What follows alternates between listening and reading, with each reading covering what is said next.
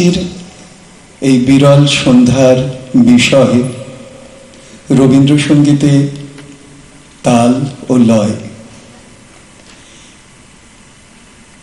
সুচিত্রা মিত্র স্বয়ং এবং অমলা শঙ্কর আজীবন নিজেদের এই লয় ও তালের সাধনায় বৃত রেখেছেন।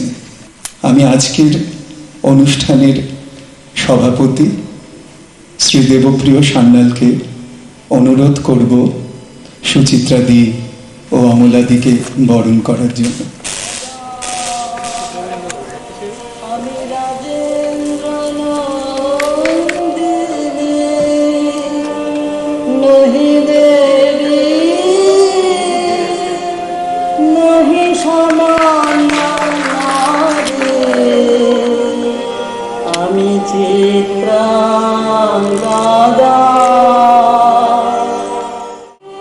কণ্ঠানু সঙ্গ দিয়ে যে ধ্বনি করে তুলবে, অনিতা, এখন তার গুরু সুচিত্রা মিত্র, আর আজকে আমাদের অতিথি প্রধানা অমলা শঙ্করকে শ্রদ্ধা নিবেদন করছে। সুচিত্রার একটা জিনিস আমি বলব, যে দেখুন, গাইয়ে হওয়া এক জিনিস, লেখক হওয়া, লেখিকা হওয়া, সবই আছে। কিন্তু শিল্পী হওয়া, শিল্পী হওয়াটা সেটা বড় কঠিন। সেটা আমি তো ভগবান বিশ্বাস করি, তবে তাকে মানুষ হিসেবে নয়, বা সে অর্জুনের মতো বিশ্বরূপ দর্শনের ভাগ্যও নেই। কিন্তু আমি যে, মনে হয় যে তিনি এক একজনকে পাঠান, যে তুমি গিয়ে সঙ্গীতের ভেতর দিয়ে আমাকে প্রকাশ করো। তুমি যেমন রবীন্দ্রনাথকে বলেছেন, এই সংগীত করো, তিনি করেছেন। তিনি ভগবানের সঙ্গে পরিচয় করিয়ে দিয়েছেন। আমার তো সত্যি যদি গুরু বলতে হয়, আমার আধ্যাত্মিক গুরু, আমার গুরুদেব রবীন্দ্রনাথ, আমার আর এখন এক, এমন একটা ভগবানের আশীর্বাদ আমার হয়েছে, সবসময় কানে আমার একটা রবীন্দ্রসঙ্গীত, কিছু না কিছু চলছে। কথা বলছি, চলছি, হাঁটছি, কোনো এক একদিন এক একটা গান এসে যায়, সেটা সমানে চলছে সমানে চলছে। এই এক্ষুনি একটু গান শুনলাম যে আমি চিত্রাঙ্গদা আমার মনে আছে সে আজ কত বছর হলো। ঠিক হলো যে আমরা রবীন্দ্র সদনে যে সুচিত্রা একা বসে গাইবে, একটা আলো ওর উপরে, আর আমি ওর গানের সঙ্গে আমি নাচবো একা, একটি আলো। মানে এই এরকমভাবে কখন আমি উপস্থিত হইনি স্টেজে তো ও সুচিত্রা গাইলো, আমি চিত্রাঙ্গদা আমি রাজেন্দ্র নন্দিনী। আমি সেইটে শুধু একটু প্রকাশ করলাম অঙ্গভঙ্গি দিয়ে বা এক্সপ্রেশন দিয়ে। তারপরে একটা ক্ষণে ক্ষণে অতল জলের আহ্বান, মনে প্রাণ, সেটা। তো সেটা এই আজকে সারা দিন ওই গানটা আমার চলেছে। তার কারণও আমি বিকেলের জন্য এই প্রস্তুত হচ্ছি যে তো সেই বলছি যে শিল্পী হওয়া, এটা একটা ভগবানের বড় আশীর্বাদ। তাকে একটা কাজ দিয়ে ভগবান পাঠিয়েছেন। তাকে শুধু দর্শকের জন্যে বা শ্রোতার জন্যে নয়, মানব কল্যাণে, মানব সমাজে সারা বিশ্বের রূপে তাকে করে পাঠিয়েছেন। তো সুচিত্রা একজন সত্যিকারের শিল্পী। একদিন মনে আছে, হুমায়ুন কবির তখন তিনি মিনিস্টার অফ কালচার ছিলেন। তিনি হঠাৎ সুচিত্রাকে আর আমাদের দুজনকে, শঙ্করকে এবং আমাকে ডিনার খেতে নিমন্ত্রণ করলেন গ্র্যান্ড হোটেলে। তা আমরা চারজনে বসে গ্র্যান্ড হোটেলে খাচ্ছি আরও সব লোক অন্য বসে আছে। সুচিত্রা কথা বলতে বলতে হঠাৎ বলছে আচ্ছা বলুন তো, এই গানটা যদি এইরকম তালেতে যদি এরকম করে গাই। মানে এমন স্বতঃস্ফূর্তভাবে সেটা করছে যে পাশে, আশেপাশে যে লোক আছে সেই খেয়ালও নেই। আর সবাই অবাক হয়েছে যে সুচিত্রা গান গাইছিল।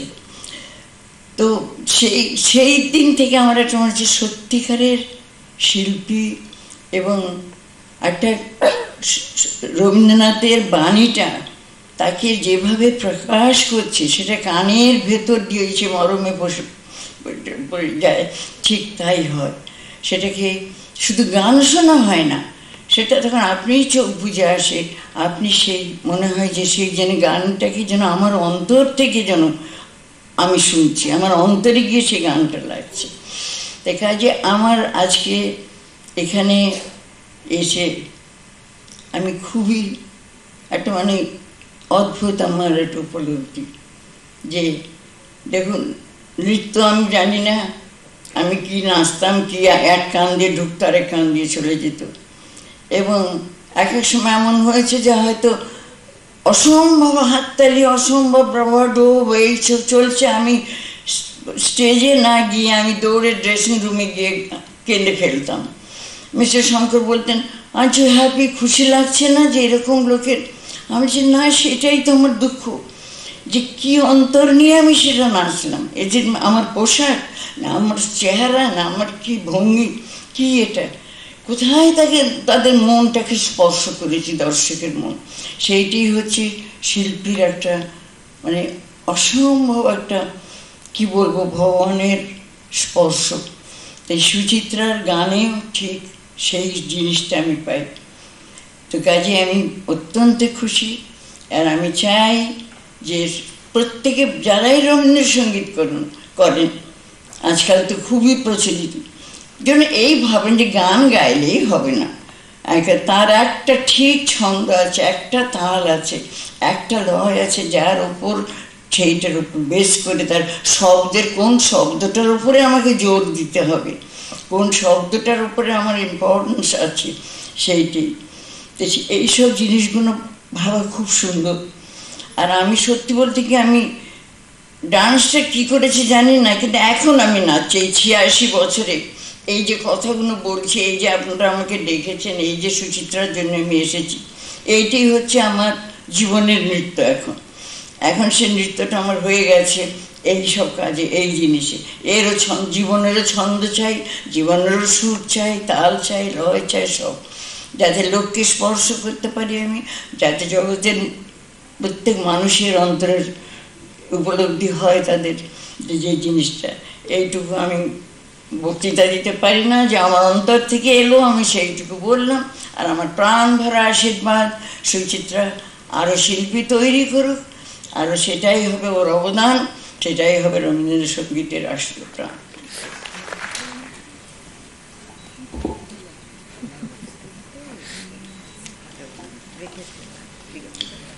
যখন দুই কিংবদন্তির এমন সম্মিলন ঘটে, তখনই বোধ হয় লয় আর তাল পূর্ণতা পাবে আজকে আমাদের সকল আনন্দ, সকল প্রত্যাশা, সকল পরিপূর্তি যে সুচিত্রাদিকে ঘিরে, তাকে কিছু বলতে বলি? বলার মাধ্যম হিসেবে সুচিত্রাদিকে অনুরোধ করছি, তারই লেখা কিছু ছড়া পাঠ করাচ্ছে নমস্কার। আমাকে ছড়া বলতে ডেকে আনা কি আমার আমার ভীষণ লজ্জার ব্যাপার? এটা আমার মনে হচ্ছে। আমি দেখবার তো নই। তো একটু পড়ি, ছড়া পড়লে একটা অপরাধ আপনারা ক্ষমা করবেন, কারণ ছড়া তো সকলেই পড়তে পারে হ্যাঁ? এত বড় দুনিয়ায় তুমি কার? কে তোমার? এমনি বলে থাকে পাঁচজনা। আমি তা নিই নে কানে, আমার মন তো জানে কেমন করে যে দূর হয় আপনা আমি যা যাবর ভাই। ঘুরি ফিরি গান গাই, মনে মন গাঁথি সুরে সুরে। অচেনা অজানা নেই আমার দুনিয়াতেই। দূর তো থাকে না সরে দূরে। এবার একটা বাচ্চাদের। ভোরে ওঠো তুমি মোরগ বাবাজি, মানতে অরাজি। থেকে থেকে ডেকে দুপুরে বিকেলে, তুমি তোরে ভাই খুব মজা পেলে। আমরা সকলে পড়ি মুশকিলে এই রে, আবার ভোর হলো বলে। লেগেছে গায়েতে খুঁড়ে ভিড় হাওয়া, ঘুম ভরা চোখে তাই গান গাওয়া। একটা ছোট্ট মজারি বললে কাঠবেড়ালি ও ভাই ঠাকুরছি, ভুলেও বাবু কখনো তো রান্না রাঁধিনি। যেমন যেমনি তো খিদে ছুট লাগাতাম সিধে, এদিক সেদিক ঘুরতাম ভাই, বাদাম নিতাম খেয়ে ভাসু দিলেন হঠাৎ, খাবেন ভাতে ভাত। কেমন করে রাঁধতে হবে, বলেছে মোর মা কি আর এটা হচ্ছে কলকাতা আছে, কলকাতাতেই। এটা বিশেষ করে বলা হয়েছে আমাকে পড়তে, তাই জন্য পড়ছি। কলকাতা আছে, কলকাতাতেই। মনে আছে ছোটবেলা পড়েছিল বটে নড়ে চড়ে কলকাতা ছোটে আর ছোটে। ছুটতে ছুটতে যদি যায় বোম্বাই, রবি ঠাকুরের তাতে কোনো খেদ নাই। আগ্রা, দিল্লি যদি যায় কলকাতা, কবির নেই কোথাতে কিছু মাথা ব্যথা। জানালা, দরজা ছোটে ছোটে পথঘাট, হাওড়ার ব্রিজ ছোটে ছোটে বই পাঠ মনুমেন্ট, স্কুল, দোকান, বাজার, দোলে ছোটে নামে ওঠে ব্যাপার বাজার। ঘন্টাও দোলে আর ঢং ঢং বাজে, বেলা যত হোক না সে তবু থামে না যে। আর কত পাগলামো করে কলকাতা। ফিরিস্তি দিয়ে যদি হবে মাথা ব্যথা।